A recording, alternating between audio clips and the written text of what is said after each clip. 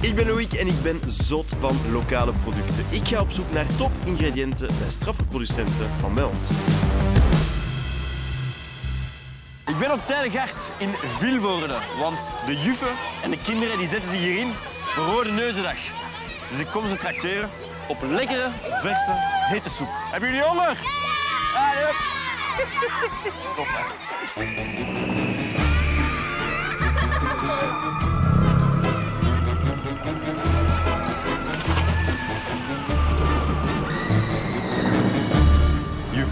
Halloween, die sfeer, dat is toch zalig, hè? Ja, super. Hè? Al die kinderen, mooi verkleed, super mooie hal. Het is echt nice gedaan, maar dat is niet heel het jaar door.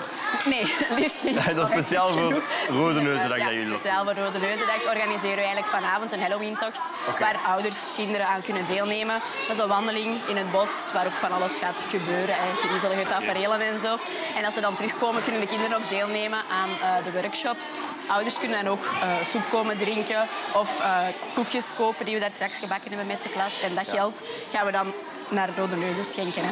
Is dat belangrijk voor jullie om mee te doen aan, aan Rode Neus? Ja, toch wel. Eh, wij als school staan wel echt achter het concept van eh, Rode Neuzendag. Zeker, ja, kinderen moeten zich gewoon goed voelen, zowel Ja. thuis als op school. En ook fysiek, mentaal, sociaal welbevinden. En zeker ja, het, het mentale hier op school. Omdat we hebben heel veel kinderen die echt nood hebben aan rust. Dus momenteel hebben we wel een beperkte, stille ruimte. Het is nog niet echt een lokaal, maar wel eh, een zetel waar ze wat boekjes kunnen lezen, wat stripverhalen kunnen lezen. Maar met de tijd, na de verbouwing, is het echt wel de bedoeling dat we een groot lokaal krijgen. Dat we echt aankleden als stille ruimte. Dat kinderen tijdens de speeltijd even te veel wordt van even tot rust kunnen komen. En dat ze er terug tegenaan kunnen gaan. Ja, maar ja, ik zou dat ook wel soms kunnen gebruiken. Als juf ook. ja, dat kan ik me voorstellen. Maar het zijn wel allemaal brave kindjes, hè? Meestal toch. Zie nu, hè. Wie heeft er goesting in soep? Oh!